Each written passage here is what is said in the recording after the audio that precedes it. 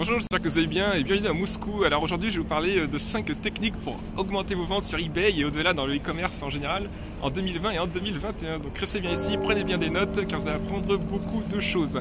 Alors aujourd'hui, je vous parle du cadre majestueux de la place rouge à Moscou, comme vous pouvez sans doute le reconnaître.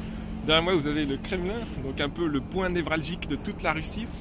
Et à votre gauche, vous avez la cathédrale de Saint-Basile le Bienheureux, donc, qui a été construite au XVIe siècle. Et vous voyez qu'elle est très jolie. Et on, dit que les architectes eh bien, qui ont conçu, dessiné cette cathédrale ont eu les yeux crevés par le tsar Ivan le Terrible après l'achèvement de la cathédrale pour pas qu'il ne puisse reproduire un tel monument. Donc voilà, c'est la légende, je ne sais pas si c'est vrai, mais je crois que oui.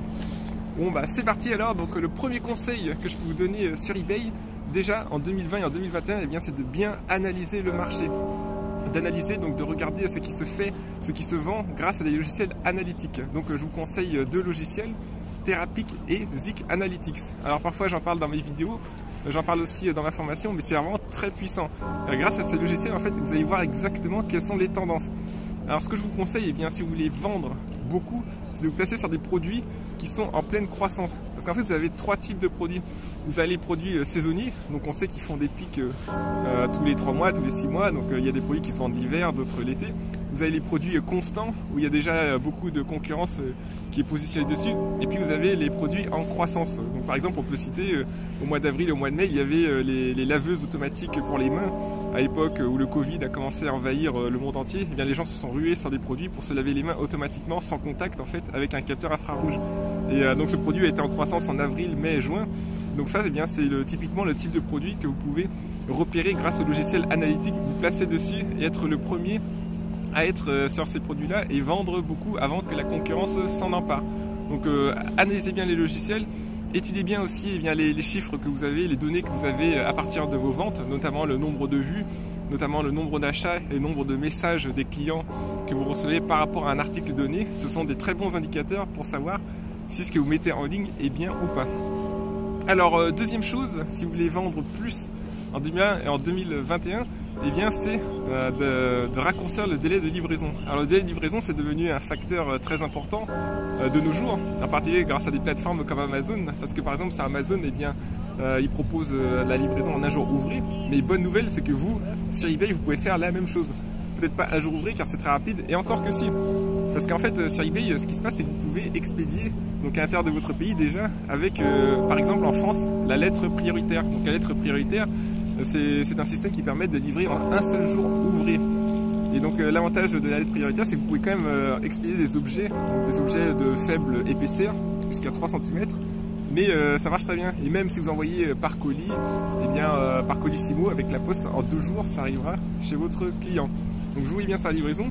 Donc troisième chose, ce que vous pouvez faire aussi pour augmenter vos ventes sur, sur eBay, eh bien c'est de passer par un agent. Donc un agent en Chine en fait, qui sera là-bas un correspondant qui va pour vous sourcer les produits en usine.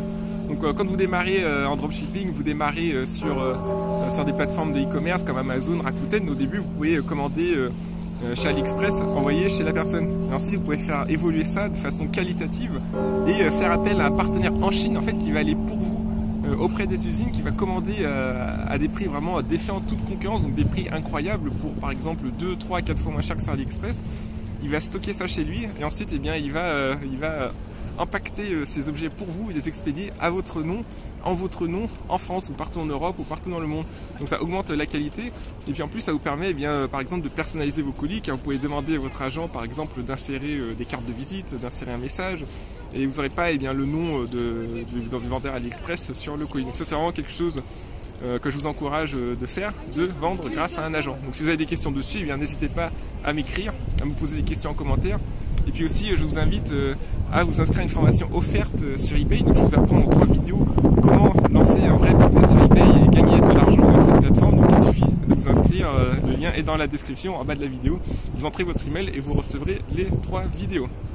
Alors, quatrième conseil que je peux vous donner pour booster vos ventes sur eBay, c'est eh bien d'ajouter un sous-titre.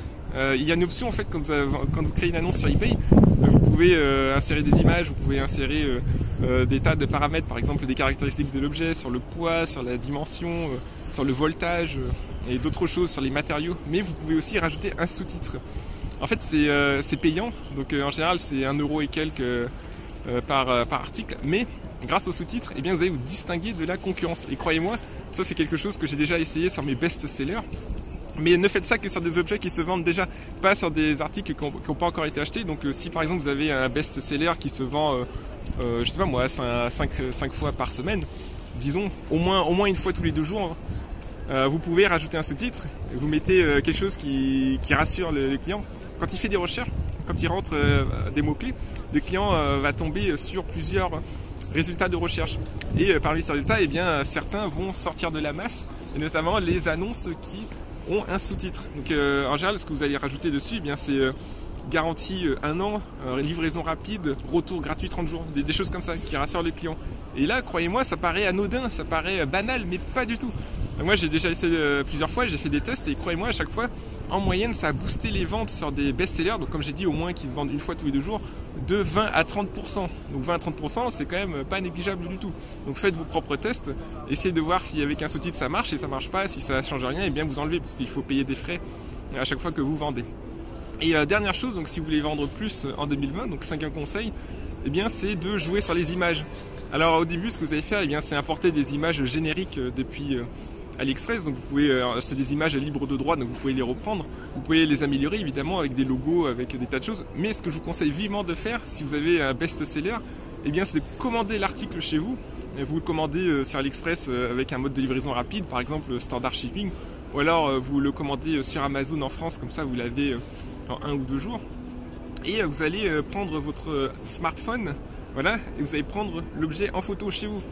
Parce qu'en général, sur les articles génériques comme ça qu'on vend euh, depuis euh, AliExpress, eh bien, il y a plusieurs concurrents qui, se qui sont positionnés dessus et euh, qui utilisent des photos similaires, voire identiques. Mais vous, vous allez visuellement vous distinguer de suite grâce à des photos que vous aurez fait vous-même vous-même chez vous. Donc pas besoin d'acheter un studio à 10 000 euros ou de faire appel à un photographe qui va vous facturer 500 euros la photo. Pas du tout, loin de là. Vous commandez l'objet pour 5 euros euh, je sais pas, 10 euros, 15 euros, ça dépend euh, du prix de l'article. Vous réceptionnez chez vous, vous prenez votre smartphone, vous aménagez votre bureau par exemple, euh, vous, vous, utilisez un petit tapis que vous mettez sur votre bureau avec un fond neutre, un fond coloré neutre, vous mettez l'article, vous prenez en photo, Ensuite, vous pouvez appliquer un filtre pour améliorer les contrastes. Et vous pouvez même utiliser des logiciels pour enlever le fond, donc il reste que l'objet. Et ensuite, vous transposez l'objet sur un, sur un, autre fond, comme vous voulez. Mais il faut que ça soit esthétique. Bon, ça, je vous fais confiance. Je suppose que vous avez un bon sens de l'esthétique. Mais pas besoin d'être un, artiste né pour, faire ça. Et là, parce que les gens sont visuels, en fait, quand vous allez sur eBay, ils ont que quelques secondes pour décider. Ils regardent, comme j'ai dit, les sous-titres. Donc le sous-titre serait le premier facteur. Et euh, l'objet, ça, c'est le deuxième facteur, la photo de l'objet on, est, comme ça, les êtres humains, on est branchés euh, sur le visuel, sur l'apparence, et, ensuite, paf, euh, tout d'un coup, on va voir que votre article se distingue de toute la concurrence. Les gens vont cliquer parce qu'il faut d'abord qu'ils cliquent afin d'acheter. Donc euh, j'espère que vous avez eh pris des notes, que vous allez appliquer ces 5 conseils. Croyez-moi, ça va booster vos ventes d'ici les prochains jours, même pas d'ici les prochaines semaines, d'ici les prochains jours. Et euh, informez-moi de, l'évolution de vos ventes. N'hésitez pas à m'écrire. Je serai heureux de voir eh bien, comment ça se passe avec votre entreprise eBay. Et je vous souhaite d'excellents profits, d'excellents revenus et je vous souhaite une excellente journée.